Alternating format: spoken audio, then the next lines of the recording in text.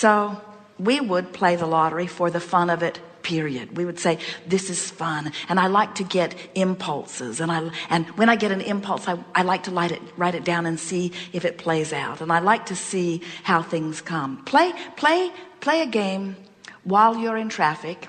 Are any of you ever in traffic? Play a game hold hold a birth date in your mind or fixate on something every day before you get into traffic. Find find something to think about that has something to do with letters and numbers.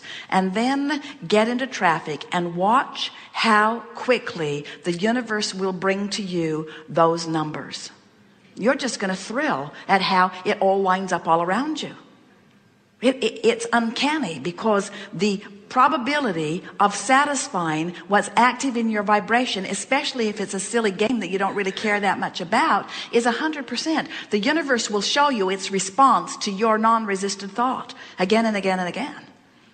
And and when you convince yourself that the universe is responding then you can be inspired